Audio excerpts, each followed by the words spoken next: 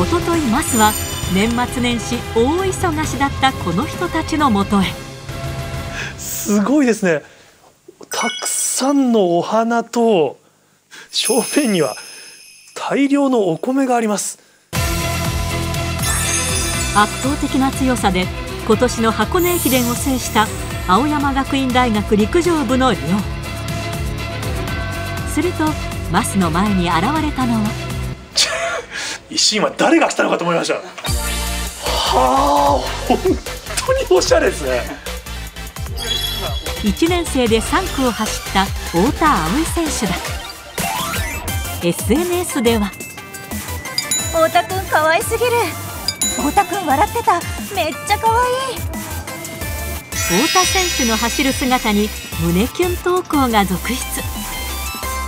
これで歩いてたら箱根のランナーだって思わないかもしれないですね。きれい。め緩めのファッションが好きだという太田選手。これとかなんか後ろそれ結ばなくていいんですかこれ？これははいあの止めるときは前で結結ぶっていうか？形結構あの珍しいものを買いたいなって思って。確かおしゃれな太田選手。どんな部屋に住んでいるのか撮影をお願いした。ドアには K-POP アイドルグループのポスター。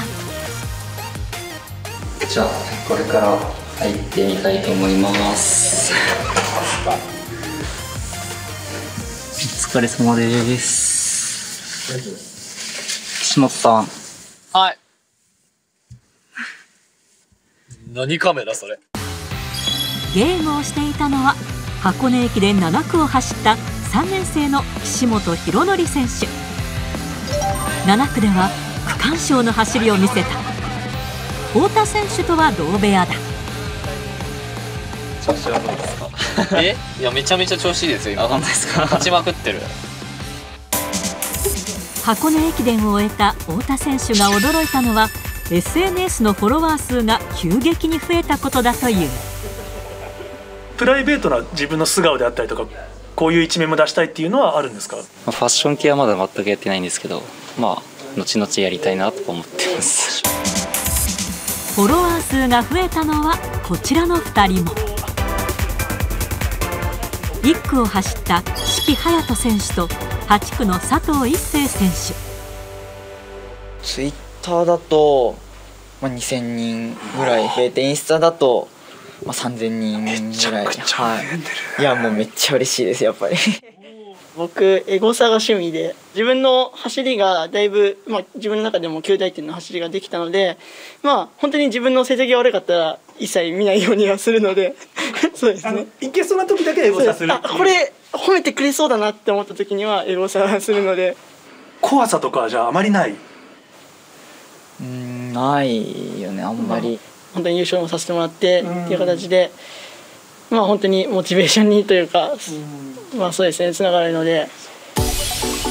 SNS を使いこなす選手たちに原進監督は。うん、SNS は僕は付き合っていくべきだと思ってる派なんでその代わりいわゆる炎上、マイナスなことももうにも触れることはあるわけだから責任持ってやるんだよということは伝えましたかえってそれが選手のモチベーションにつながってる部分もあるんですかそういうわけです。それは時代の流れですから、2022年を最高の形でスタートさせた選手たち。この後どんな走りを見せてくれるのか